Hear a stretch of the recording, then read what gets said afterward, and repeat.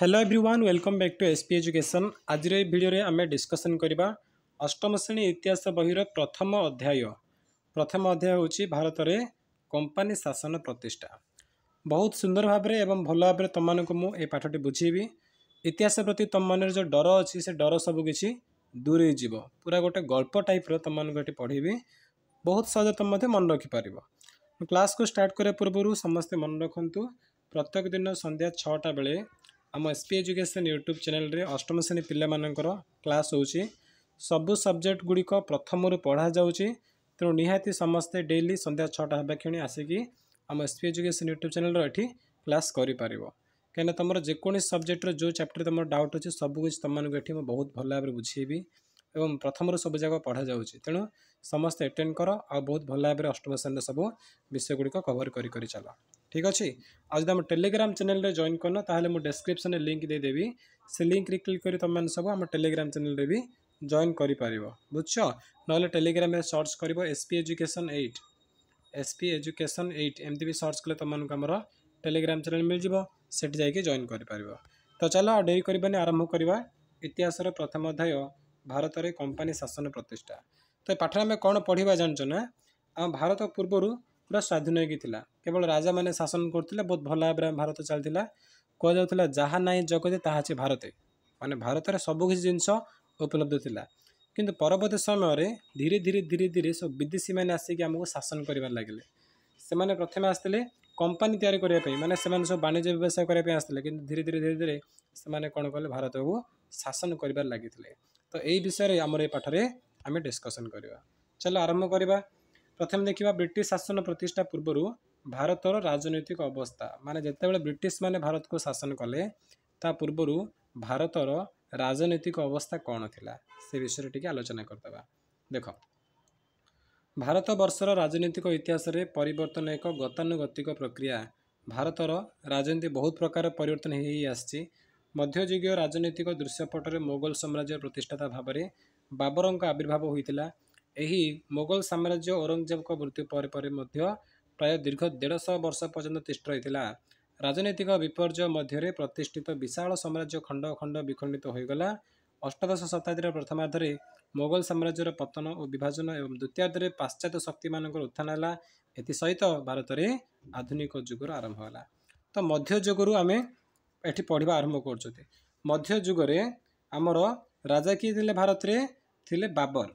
ଆଉ ବାବର ହେଉଛନ୍ତି ମୋଗଲ ସାମ୍ରାଜ୍ୟର ପ୍ରତିଷ୍ଠାତା ହେଲା ସେ ଥିଲେ ମୋଗଲମାନଙ୍କର ରାଜା ଆଉ ମୋଗଲ ସାମ୍ରାଜ୍ୟର ପ୍ରଥମ ରାଜା ଥିଲେ କିଏ ବାବର ଯିଏକି ଭାରତକୁ ଶାସନ କରୁଥିଲେ ଠିକ୍ ଅଛି ତ ବାବର ତାପରେ ଏମିତି ଧୀରେ ଧୀରେ ଧୀରେ ଧୀରେ ତାଙ୍କର ପୁତ୍ର ତାଙ୍କ ତାଙ୍କ ପୁତ୍ର ଏମିତି ହେଇକିରି ଶେଷରେ କ'ଣ ହେଇଛି ନା ଔରଙ୍ଗଜେବ ଆସିକି ଶାସନ କଲେ ହେଲା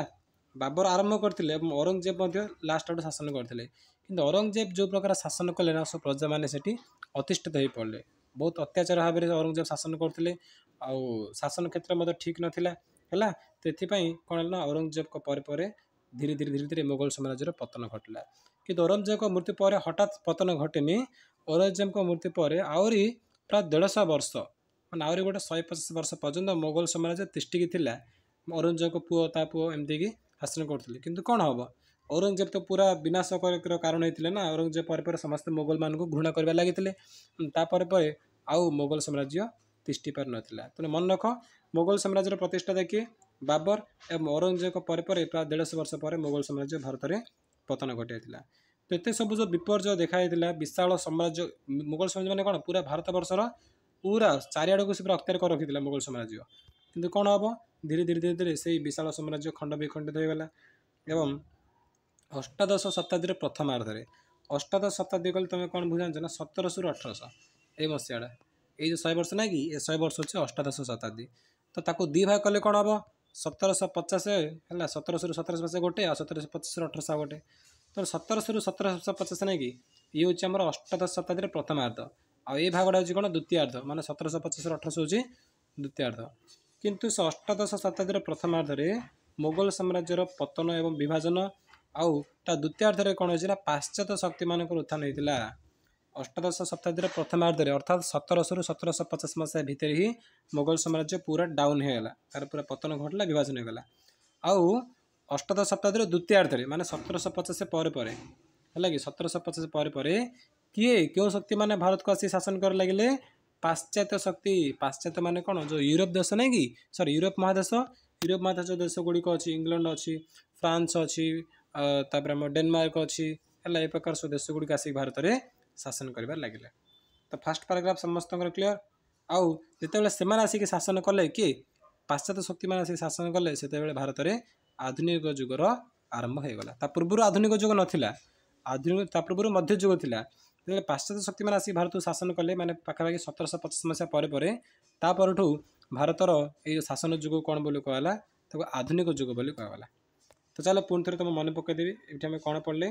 ଫାଷ୍ଟ ଆମେ ଦେଖିଲେ କି ଆମ ଭାରତକୁ ମୋଗଲ ସାମ୍ରାଜ୍ୟର ମୋଗଲର ରାଜା କିଏ ବାବର ସେ ପ୍ରଥମେ ଶାସନ କରିକରି ଆସୁଥିଲେ ତାପରେ ପରେ କ'ଣ ଅଛି ନା ତାଙ୍କ ପୁତ୍ର ତାଙ୍କ ପୁତ୍ର ଏମିତି ହେଇ ହେଇକିରି ଔରଙ୍ଗଜେବ ଯେତେବେଳେ ଶାସନ କଲେ ଔରଙ୍ଗଜେବ ପରେ ଧୀରେ ଧୀରେ ମୋଗଲ ସାମ୍ରାଜ୍ୟ ପତନ ଆରମ୍ଭ ହେଲା ଏବଂ ତାପରେ ବି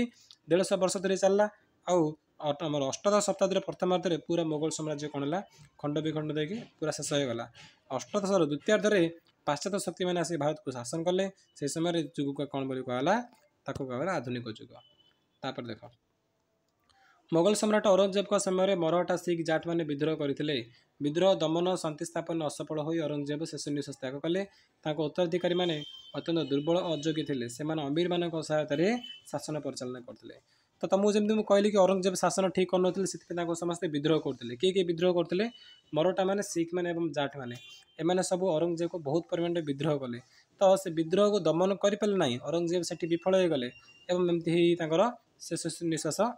त्याग करदे मैंने औरंगजेब मरिया है जो एत संख्यक मरटा मैंने शिख मैंने जाट मैंने सब विद्रोह कले आउ से विद्रोह अतिष्ट पड़े के चेषा कले भी से विद्रोह को ये रोक पारे ना शेष से औरंगजेब मरीगले ଔରଙ୍ଗଜେବ ମଲା ପରେ ତାଙ୍କର ଯେଉଁ ଉତ୍ତରାଧିକାରୀ ଆସିଲେ ତାଙ୍କ ପୁଅ ତା ପୁଅ ସେମାନେ ସବୁ ଦୁର୍ବଳ ଥିଲେ ଦୁର୍ବଳ ଅଯୋଗ୍ୟ ଥିଲେ ମାନେ ଶାସନ କେମିତି କରାଯାଏ କିଛି ଜଣାନଥିଲା ସେମାନଙ୍କୁ ସେମାନେ ସବୁ ଅମୀରମାନଙ୍କ ସହାୟତାରେ ଶାସନ ପରିଚାଳନା କରୁଥିଲେ ଯିଏ ଅମୀର ଥିଲେ ସେ ଅମୀରମାନଙ୍କ ସାହାଯ୍ୟରେ ହିଁ ସେମାନେ ସବୁ ଶାସନ କରୁଥିଲେ ଏକା ଏକା ଶାସନ କରିପାରିଲେନି ହେଲା ଆଉ ଯେତେବେଳେ ଅମୀରମାନେ ଦେଖିଲେ କି ଆରେ ବା ମୋଗଲମାନେ ତ ବହୁତ ଦୁର୍ବଳ ଅଛନ୍ତି ଚାଲ ଆମେ ଏଥର କ'ଣ କରିବା ଆମର ଲକ୍ଷ୍ୟ ସାଧନ କରିବା ସେଥିପାଇଁ ତାଙ୍କ ଦୁର୍ବଳତାର ସୁଯୋଗ ନେଇ ଅମୀରମାନେ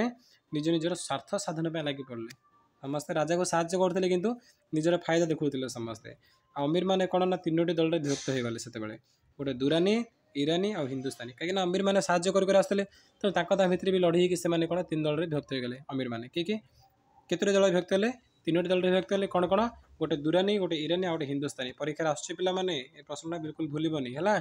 ପରୀକ୍ଷାରେ ପ୍ରଶ୍ନ ଆସିବ ଅମୀରମାନେ କେତୋଟି ଦଳରେ ବିଭକ୍ତ ହୋଇଥିଲେ କ'ଣ କ'ଣ ତୁମେ ଲେଖିବ ଦୁରାନୀ ଇରାନୀ ଏବଂ ହିନ୍ଦୁସ୍ତାନୀ ହେଲା ତାପରେ ସେମାନେ ଏଇ ଯେଉଁ ଦେଖିଲେ ମୋଗଲର ଶାସନ ବହୁତ ଦୁର୍ବଳ ଥିଲା ସେଥିପାଇଁ ଆଉ ରାଜନୈତିକ ଫାଇଦା ସେମାନେ ହାସଲ କଲେ ଫଳରେ କେନ୍ଦ୍ରୀୟ ଶାସନ ଦୁର୍ବଳ ହେଲା ଆଉ ପ୍ରାଦେଶିକ ଶାସନକର୍ତ୍ତାମାନେ ସ୍ୱାଧୀନ ରାଜ୍ୟ ଗଠନ କରିବାକୁ ଆଗଭର ହେଲେ ତା ଅର୍ଥ ବୁଝ କେନ୍ଦ୍ରୀୟ ଶାସନ ମାନେ କ'ଣ ସେ ସମୟରେ ମୋଗଲମାନେ କୋର୍ଟରେ ଶାସନ କରୁଥିଲେ ଦିଲ୍ଲୀରେ ଦିଲ୍ଲୀ ଏଠି ଅଛି ଦିଲ୍ଲୀକି ସେମାନେ ଚାରିଆଡ଼େ ଛୋଟ ଛୋଟ ଛୋଟ ରାଜାମାନଙ୍କୁ ନିଯୁକ୍ତି ଦେଇଥିଲେ ସବୁ ଅଞ୍ଚଳରେ କରିକି ଶାସନ କରୁଥିଲେ କିନ୍ତୁ କ'ଣ ହେଲା ଯେତେବେଳେ ଅମୀରମାନେ କେନ୍ଦ୍ରୀୟ ସରକାର ବା କେନ୍ଦ୍ରରେ ଯିଏ ରାଜା ଥିଲେ ତାଙ୍କୁ ସାହାଯ୍ୟ କରୁଥିଲେ ଆଉ ଅମୀରମାନେ ନିଜେ ନିଜେ ଭାଗ ଭାଗ ହୋଇଗଲେ ନିଜ ଫାଇଦା ପାଇଁ ବୋଲି ତେଣୁ କେନ୍ଦ୍ର ସରକାର ପୁରା ଦୁର୍ବଳ ହୋଇଗଲା କେନ୍ଦ୍ର ସରକାର କହୁଛି କେନ୍ଦ୍ର ଯେଉଁ ରାଜା ଥିଲେ ସେ ଦୁର୍ବଳ ହୋଇ ପଡ଼ିଲେ ତେଣୁ ସେ କେନ୍ଦ୍ରରେ ଯେଉଁ ରାଜା ଥିଲେ ସେମାନେ ଅନ୍ୟ ରାଜାମାନଙ୍କୁ ନିଯୁକ୍ତି କରିଥିଲେ ଗୋଟେ ଗୋଟେ ଅଞ୍ଚଳରେ ସେମାନେ ସବୁ ବର୍ତ୍ତମାନ କ'ଣ କଲେ କହିଲେ ଚାଲେ ବା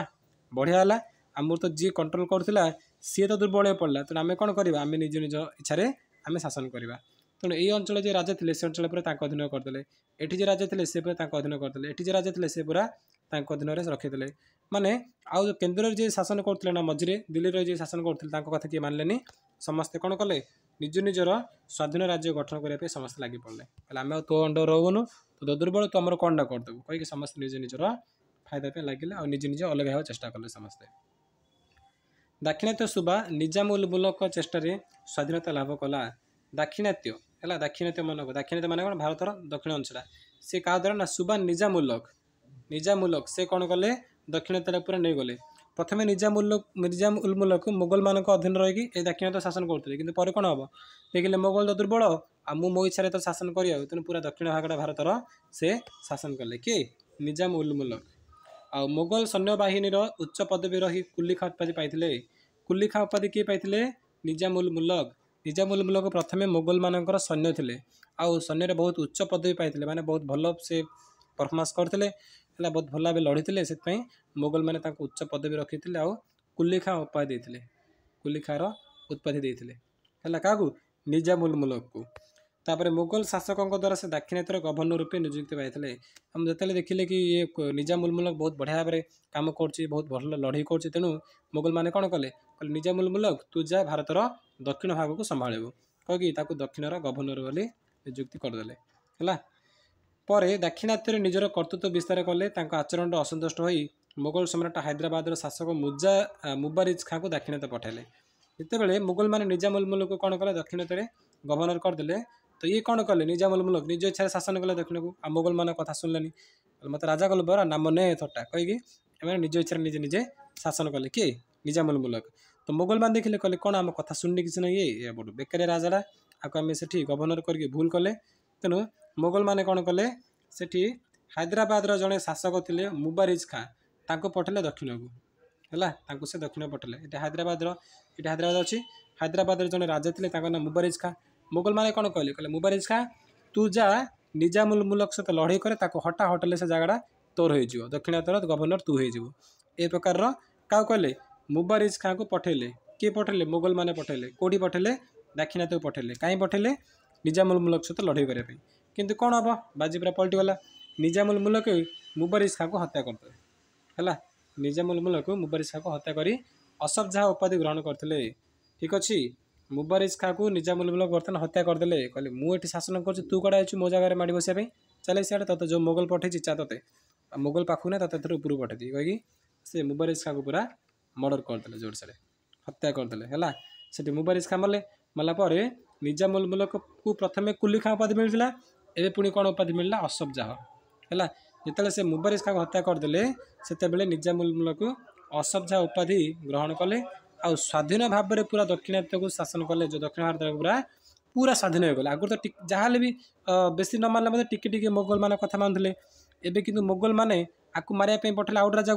निजामुल्ल मूलक आउँ शु एउटा मो इच्छा पुरा म शासन दक्षिण पुरा दक्षिणको निज अधीनको नै गले हो तपर निजामुल्मूलक मृत्यु पर युरोपीय कम्पनी गुडिक सही सुबार राजनीतिर हस्तक्षेप गरिब्मा सुबा दाक्षिणात सुबाडा थाले नपर जति निजामुल्लक मैले त युरोपीय कम्पनी आसिसले जो इङ्जी फरासी होला पर्तुगिज त पर्तुगाल तर दिनमारसि कन कले से अञ्चल निज निज अध्ययनको नै गाक्षिणता ता पूर्व के निजामुल्मूलक शासन गरु बुझल तापर आसला अोध्या सु ଦାକ୍ଷିଣାତ୍ୟ ଶୁଭା ସରିଲା ଏବେ ଦେଖିବା ଅଯୋଧ୍ୟା ଶୁଭା ତ ଅଯୋଧ୍ୟା ଶୁଭା କାହାକୁ ନେଇ ତିଆରି ହେଇଥିଲା ଅଯୋଧ୍ୟା ବନାରସ ଆହ୍ଲାବାଦ ଆଉ କାନପୁର ଏ ଚାରିଟା ଅଞ୍ଚଳକୁ ନେଇକି ଅଯୋଧ୍ୟା ଶୁଭା ଗଠିତ ହେଇଥିଲା ହେଲା ଆଉ ଏଠି କିଏ ସୁବାଦାର ଥିଲେ ଏଠି ସୁବାଦାର ଥିଲେ ସାଦତ ଖାଁ ଦାକ୍ଷିଣାତ୍ୟ ସୁବାର କିଏ ଗଭର୍ଣ୍ଣର ଥିଲେ ନିଜାମୁଲ ମୁଲକ କିନ୍ତୁ ଅଯୋଧ୍ୟା ସୁବାର କିଏ ସୁବାଦାର ଥିଲେ ସାଦତ ଖାଁ ହେଲା ସାଦତ ଖାଁ ଏ କେଉଁଠି ଥିଲେ ଅଯୋଧ୍ୟା ସୁବାର ସୁବାଦାର ଥିଲେ ଅଯୋଧ୍ୟା ସୁବା କାହାକୁ ନେଇ ତିଆରି ଅଯୋଧ୍ୟା ବନାରସ ଆହ୍ଲାବାଦ ଆଉ କାନପୁର ଏ ଚାରିଟା ସହରକୁ ନେଇ ତିଆରି ହୋଇଥାଏ ତାପରେ ତାଙ୍କ ପରେ ସଫେଦର ଜଙ୍ଗ ଅଯୋଧ୍ୟାର ଶାସକ ହେଲେ ଯେତେବେଳେ ସାଦତ ଖାଁ ମରିଗଲେ ସାଦତ ଖାଁ ମରିଲା ପରେ ସଫେଦର ଜଙ୍ଗ ସଫେଦର ଜଙ୍ଗ ଅଯୋଧ୍ୟାର ଶାସକ ହୋଇଥିଲେ ପରବର୍ତ୍ତୀ ସମୟରେ ସେ ଦିଲ୍ଲୀର ୱାଜିର ହୋଇଥିଲେ ପରବର୍ତ୍ତୀ ସମୟରେ ସେ ଦିଲ୍ଲୀର ୱାଜିର ୱାଜିର ମାନେ ପ୍ରଧାନମନ୍ତ୍ରୀ ରାଜାମାନଙ୍କର ମଧ୍ୟ ପ୍ରଧାନମନ୍ତ୍ରୀ ଥିଲେ ନା ତେଣୁ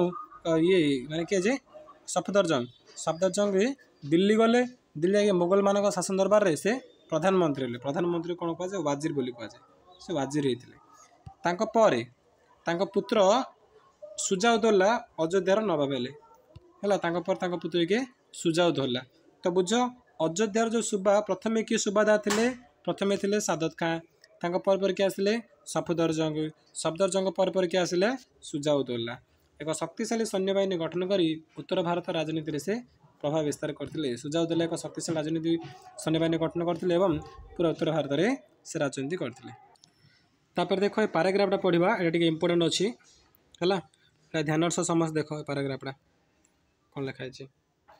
ମୋଗଲ ସମ୍ରାଟମାନେ ଶାସନ କ୍ଷେତ୍ରରେ କେତେକ ପଦବୀ ସୃଷ୍ଟି କରିଥିଲେ ୱାଜିର ପଦବୀଧାରୀ ବ୍ୟକ୍ତି ପ୍ରଧାନମନ୍ତ୍ରୀ ରୂପେ କାର୍ଯ୍ୟ କରୁଥିଲେ ଅର୍ଥ ଓ ରାଜସ୍ୱ ବିଭାଗ ତାଙ୍କ ହସ୍ତରେ ଥିଲା ହେଲା ମୁଁ ଟିକେ ଯେତେବେଳେ ତୁମକୁ କହିଲି ୱାଜିର ୱାଜିର ମାନେ କ'ଣ ଯିଏକି ପ୍ରଧାନମନ୍ତ୍ରୀ ଭାବରେ କାମ କରୁଥିବ ଏଇଟା ମୋଗଲମାନେ ଏମିତି ସେ ପଦବୀ ରଖିଥିଲେ ଆଉ ୱାଜିର ହାତରେ କ'ଣ କ'ଣ ଥିଲା କ'ଣ କ'ଣ ଦାୟିତ୍ୱ ଥିଲା ଅର୍ଥ ତା ସହିତ ରାଜସ୍ୱ ବିଭାଗ ମାନେ ସେ ଟଙ୍କା ପଇସା ଏ ବିଷୟରେ ଏ ବିଷୟ ସବୁ ୱାଜିର ବୁଝୁଥିଲେ ସମ୍ରାଟଙ୍କ ଅନୁପସ୍ଥିତିରେ ଶାସନ କାର୍ଯ୍ୟ ମଧ୍ୟ ୱାଜିର ସମ୍ଭାଳୁଥିଲେ ଅନ୍ୟ ମନ୍ତ୍ରୀମାନଙ୍କୁ ନିଯୁକ୍ତି କରୁଥିଲେ ବରଖାସ୍ତ ମଧ୍ୟ କରିପାରୁଥିଲେ ବରଖାସ୍ତ ମାନେ ସେମାନଙ୍କୁ ଶାସନ କ୍ଷେତ୍ରରେ ବାହାର ମଧ୍ୟ କରିପାରୁଥିଲେ ତ ଏତେ ପାୱାର କାହା ପାଖରେ ଅଛି ୱାଜିର ପାଖରେ ବୁଝିଲ ତାପରେ ଆଉ ପ୍ରାଦେଶିକ ଶାସନ ଦାୟିତ୍ୱ ସାଧାରଣତଃ ଦୁଇ ପ୍ରକାର କର୍ମଚାରୀଙ୍କ ଉପରେ ନ୍ୟସ୍ତ କରୁଥିଲେ ସେମାନେ ଥିଲେ ସୁବାଦାର ତାସ ଦେବାନ ମୋଗଲମାନେ ପ୍ରାଦେଶିକ ଶାସନ ପ୍ରାଦେଶିକ ମାନେ କ'ଣ ଦିଲ୍ଲୀକୁ ସାରିଲା ପରେ ବାକି ଯେଉଁ ଅଞ୍ଚଳରେ ଅନ୍ୟ ରାଜାମାନଙ୍କୁ ସେ ନିଯୁକ୍ତି କରୁଥିଲେ ନା ସେଠି ସେଠି ଦୁଇ ପ୍ରକାର କର୍ମଚାରୀକୁ ସେ ନିଯୁକ୍ତି କରୁଥିଲେ ଗୋଟେ ଥିଲେ ସୁବାଦାର ଆଉ ଗୋଟେ ଥିଲେ ଦେବାନ ବୁଝିଲ ସୁବାଦାର ଆଉ ଦେୱାନ ସୁବାଦାରର କାମ କ'ଣ ସେ ନିରାପତ୍ତା ପୋଲିସ ଆଉ ଫୌଜଦାରୀ ଏ ମକଦ୍ଦମା ଏସବୁ କାମ କରିବ ଆଉ ଦେୱାନ କି କାମ କରିବ ରାଜସ୍ୱ ତା ସହିତ ମକଦ୍ଦମା ଗୁଡ଼ିକ ପରିଚାଳନା କରିବ ହେଲା ଯାହା ବି ରାଜସ୍ୱ ବିଷୟରୁ ମାନେ ପ୍ରାଦେଶିକ ଶାସନର ରାଜସ୍ୱ ଦରକାର ନା ପଇସା ପତ୍ର କାରବାର ଏସବୁ କାମ ସିଏ ସମ୍ଭାଳିବ ବୁଝିଲ ଆଉ ଯେଉଁ ପୋଲିସ ଯେଉଁ କାମ କରୁନି କି ସେ କାମଟା କିଏ କରିବ ସୁବାଦାର କରିବ ଏମିତି ଥିଲା ତାଙ୍କର ଚାଲ ଆଗକୁ ବଢ଼ିବା ଏବେ ଦିଲ୍ଲୀର ଉତ୍ତରରେ ଲାହୋର ଓ ମୁଲତାନ ମୋଗଲ ଶାସନାଧୀନ ଥିଲା ମୋଗଲ ସାମ୍ରାଜ୍ୟର ଆଭ୍ୟନ୍ତରୀଣ ବିଶୃଙ୍ଖଳା ସୁଯୋଗ ନେଇ ପାରସ୍ୟ ରାଜା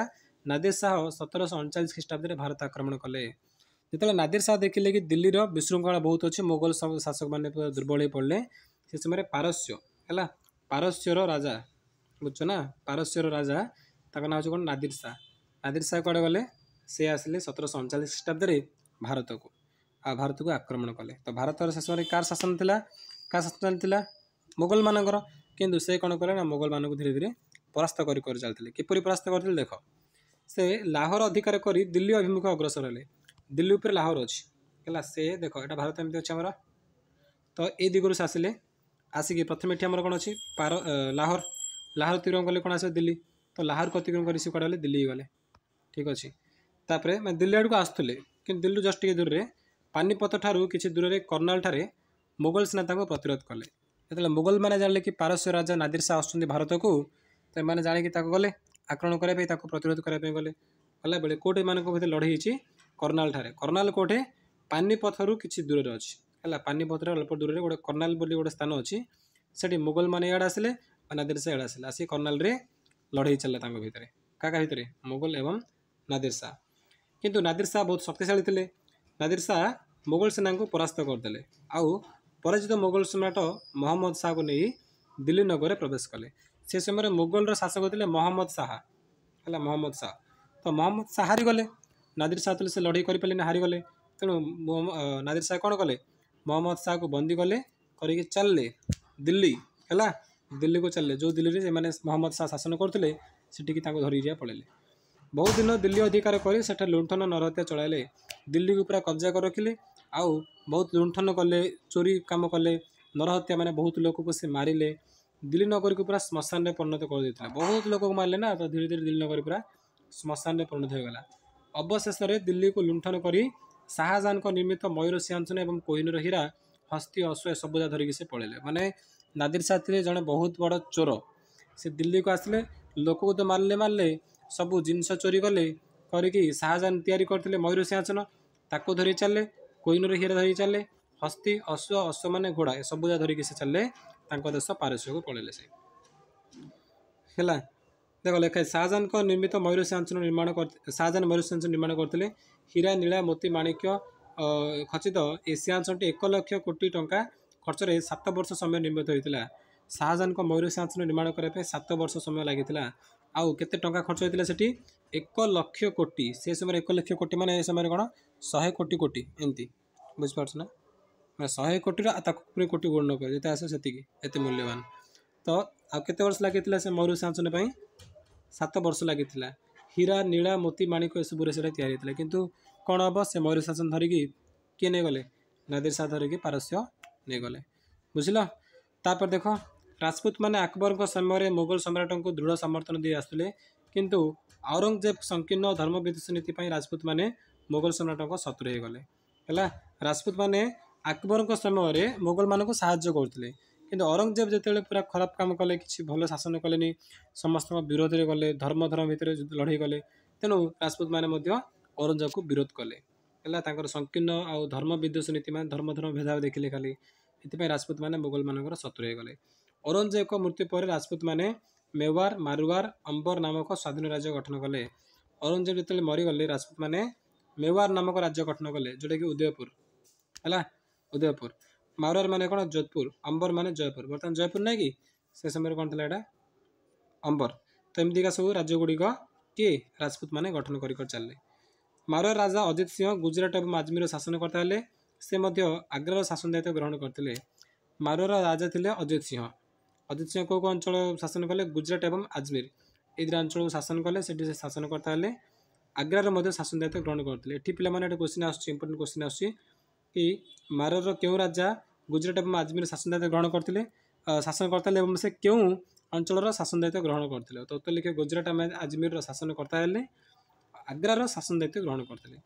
ଦିଲ୍ଲୀ ଜୟପୁର ବନାରସ ମଥୁରା ଉଜ୍ଜୟିନୀ ଜ୍ୟୋତିର୍ବିଜ୍ଞାନ ପର୍ଯ୍ୟବେକ୍ଷଣାଗାର ପ୍ରତିଷ୍ଠା କରିଥିଲେ ସେ କ'ଣ କ'ଣ ଭଲ କାମ କରିଛନ୍ତି ଦେଖ ଦିଲ୍ଲୀରେ ଜୟପୁର ବନାରସରେ ମଥୁରା ଉଜ୍ଜୟନରେ ଜ୍ୟୋତିର୍ବିଜ୍ଞାନ ପର୍ଯ୍ୟବେକ୍ଷଣଗାର ସେଠି ପ୍ରତିଷ୍ଠା କରିଥିଲେ ରାଜପୁତମାନେ ମରହଟା ଜାଟମାନଙ୍କ ସହିତ ସମ୍ପର୍କ ରଖିବାରୁ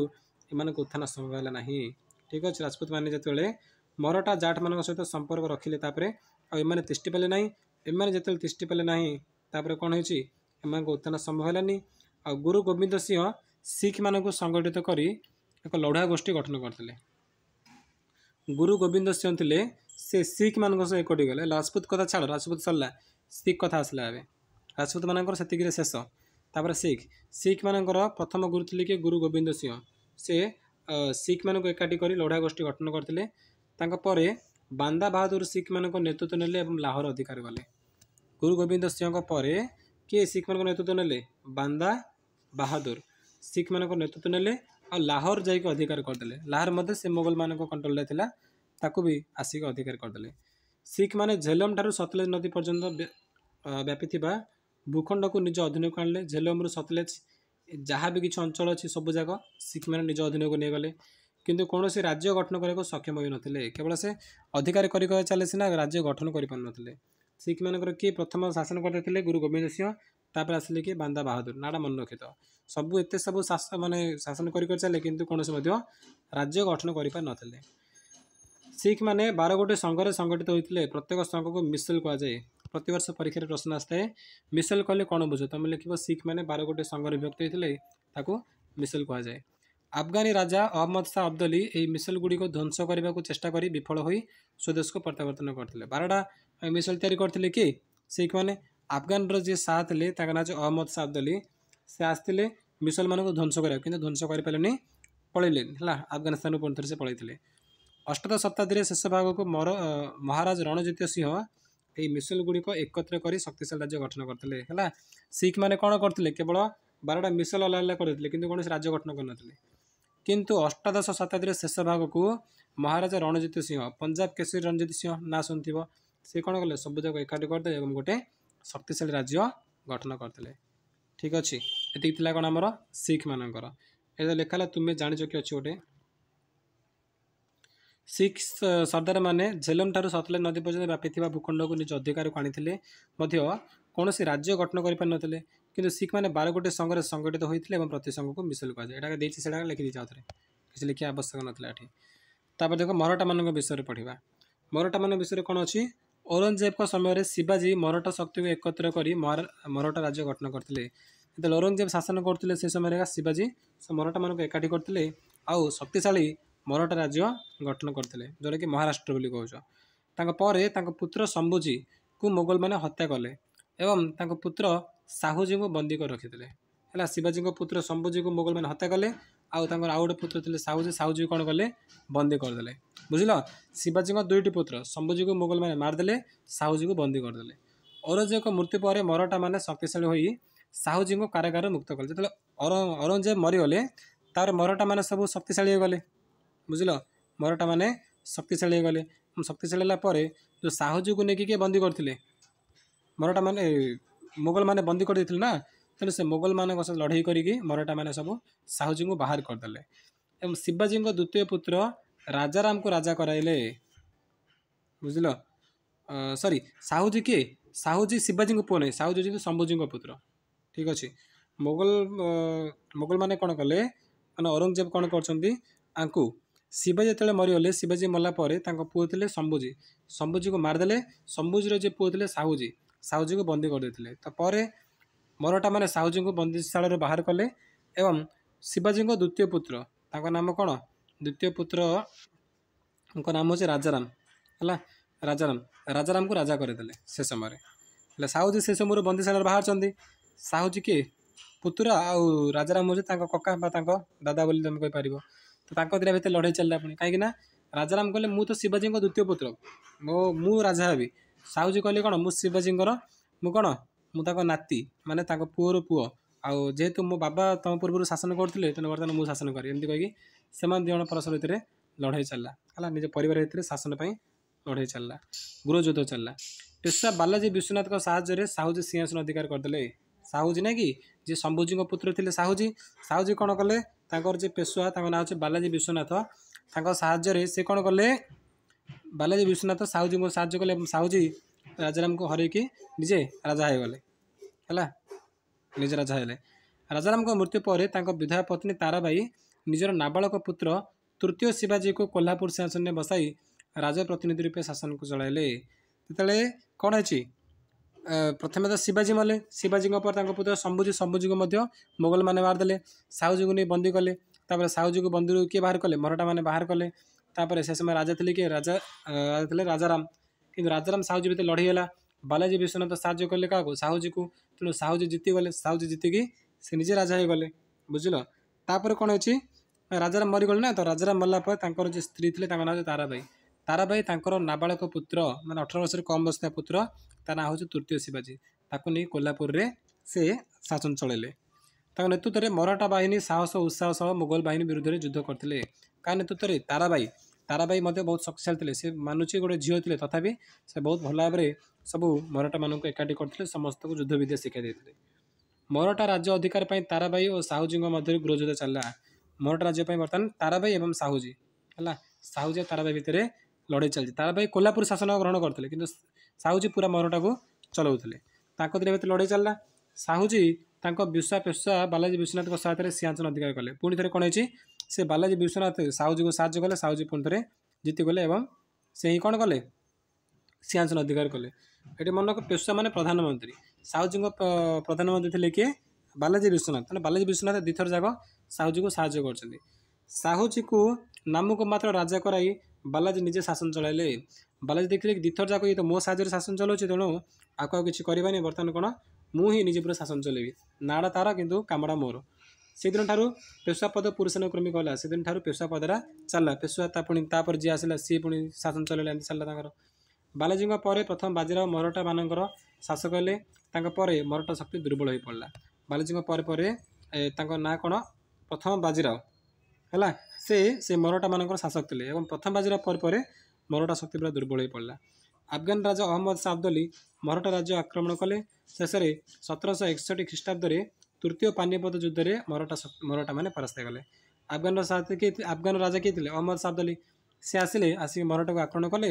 ଆଉ ସତରଶହ ଏକଷଠି ଖ୍ରୀଷ୍ଟାବ୍ଦରେ ତୃତୀୟ ପାନୀପଦ ଯୁଦ୍ଧରେ ମରଠାମାନେ ପରାସ୍ତ ହୋଇଗଲେ ଫଳରେ ମରଠା ସାମ୍ରାଜ୍ୟ ଗଠନ ଆଶା କ୍ଷୀଣ ହୋଇଗଲା ସେଠି ମରଠା ଶକ୍ତି ଶେଷ ତାପରେ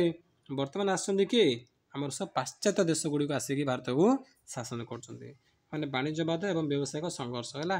ଏ ବିଷୟରେ ଆମେ ପରବର୍ତ୍ତୀ କ୍ଲାସ୍ରେ ପଢ଼ିବା ଠିକ୍ ଅଛି ନେକ୍ସଟ ଭିଡ଼ିଓରେ ଆମେ ଆଲୋଚନା କରିବା ତ ଏବେ ମରଟା ବିଷୟରେ ପଢ଼ିଥିଲେ ଦେଖିଲେ ମରଟା ମାନ କ'ଣ ପ୍ରଥମେ କିଏ ଥିଲେ ଶିବାଜୀ ତାଙ୍କ ପରେ ଶମ୍ଭୁଜୀ ହେଲା କିନ୍ତୁ ଶମ୍ଭୁଜୀକୁ ଆସିଲେ ମୋଗଲମାନେ ମାରିଦେଲେ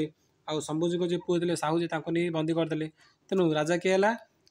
ରାଜାରାମ ରାଜା ହେଲେ କିନ୍ତୁ ରାଜାରାମ ଆଜିକାଲି ସାହୁଜୀକୁ ବନ୍ଦୀରୁ ମୁକ୍ତ କଲେ ମରଟାମାନେ ରାଜାରାମ ଏବଂ ସାହୁଜୀ ମଧ୍ୟ ଲଢ଼େଇ ଚାଲିଲା ଜିତିଲା କିଏ ସାହୁଜୀ କାହିଁକିନା ତାଙ୍କୁ ସାହାଯ୍ୟ କଲେ ବାଲାଜୀ ବିଶ୍ୱନାଥ ତେଣୁ ଏମିତି ହେଇଛି ତ ରାଜାରାମ ସେଠି ମରିଯାଇଛନ୍ତି ରାଜାରାମଙ୍କ ସ୍ତ୍ରୀ ଥିଲେ ତାରାବାଇ ଏବେ କ'ଣ ହେଇଛି ନା ତାରାବାଇ ତାପରେ ସେଠି ଶାସନ କଲେ କୋଲ୍ହାପୁରର ଶାସନ ଦାୟିତ୍ୱ ନେଇଥିଲେ ତାରାବାଇଙ୍କ ନେତୃତ୍ୱରେ ମରଟା ଶକ୍ତି ପୁରା ଅଧିକ ମାନେ ମରଟାମାନେ ଅଧିକ ଶକ୍ତିଶାଳୀ ହେଇଥିଲେ ତାପରେ ପରେ କ'ଣ ହେଇଛି ତାରାବାଇ ଏବଂ ସାହୁଜୀ ମଧ୍ୟରେ ଲଢ଼େଇ ଚାଲିଛି ଏହି ଭିତରେ ପୁଣି ଥରେ ବାଲାଜୀ ବିଶ୍ୱନାଥ ସାହୁଜୀଙ୍କୁ ସାହାଯ୍ୟ କଲେ ତାରାବାଇ ସେଠି ପରାସ୍ତ ହୋଇଗଲେ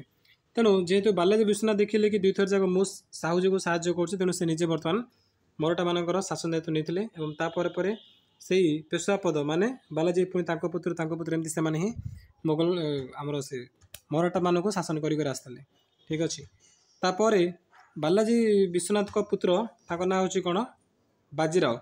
ବାଜିରାଓ ପ୍ରଥମ ବାଜିରାଓ ସେ ଶାସନ ଦାୟିତ୍ୱ ନେଇଥିଲେ ପ୍ରଥମ ବାଜିରାଓଙ୍କ ପରେ ମଧ୍ୟ ସେଇ ମୋଗଲ ମରାଠାମାନଙ୍କ ଶାସନ ପୁରା ଦୁର୍ବଳ ହୋଇପଡ଼ିଥିଲା এমনি দুর্বল সুযোগ নেই আফগান রাজা অহম্মদ সাবদলি তাপরে সে আসলে সতেরোশো একষট্টি খ্রিস্টাব্দে লড়াই করলে মরাঠা মানুষ পরাস্ত করে সেটি মরাঠা শক্তি শেষ হয়ে যাই তো এতিকি লা ପୁଣି ନେକ୍ସଟ କ୍ଲାସରେ ଆମେ ଅବଶିଷ୍ଟ ଅଂଶ ପଢ଼ିବା ଚାଲନ୍ତୁ ଭିଡ଼ିଓକୁ ସମାପ୍ତ କରିବା ପୁଣି ଥରେ ମନେ ପକାଇ ଦେଉଛି ପ୍ରତ୍ୟେକ ଦିନ ସନ୍ଧ୍ୟା ଛଅଟା ବେଳେ ଆମ ଏସ୍ପି ଏଜୁକେସନ୍ ୟୁଟ୍ୟୁବ୍ ଚ୍ୟାନେଲରେ ଅଷ୍ଟମ ଶ୍ରେଣୀର କ୍ଲାସ୍ ହେଉଛି ତେଣୁ ସମସ୍ତେ ଜଏନ୍ କରିବ ଆଉ ଡେସ୍କ୍ରିପ୍ସନ୍ରେ ମୋ ଟେଲିଗ୍ରାମ ଚ୍ୟାନେଲ୍ ଲିଙ୍କ୍ ଦେଇଛି ସେଠି ବି କ୍ଲିକ୍ କରି ସମସ୍ତେ ଟେଲିଗ୍ରାମରେ ମଧ୍ୟ ଜଏନ୍ କରିଦେବ ଚାଲ ଭିଡ଼ିଓକୁ ସମାପ୍ତ କରିବା ଥ୍ୟାଙ୍କ ୟୁ